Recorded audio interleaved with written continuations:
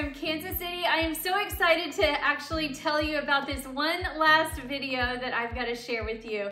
It's the very last yellow bike associated with all of my transactions this year. I just had a, a, recent buyer purchase a property. It's Michaelah and Kaleb, and they are longtime friends of mine. I've known Michaelah since she was a little, little girl, uh, we've been family friends for almost 30 years, believe it or not. And so I've helped multiple family members of theirs and they wanted to purchase a property and I was so honored to help them buy one here in town and follow along on their journey of two years. It's been amazing.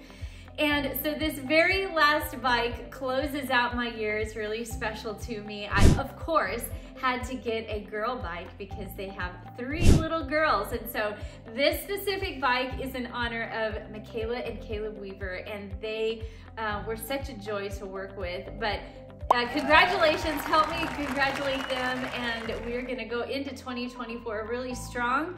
Um, so thank you all for all of the, the donations that have come in. I was able to get several more bikes.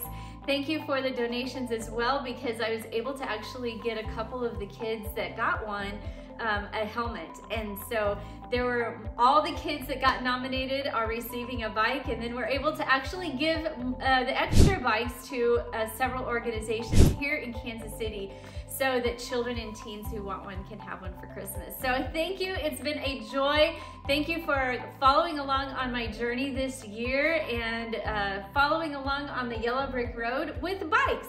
So congratulations to Michaelah and Kaleb. Thank you for closing out my year and being such a fantastic client of mine.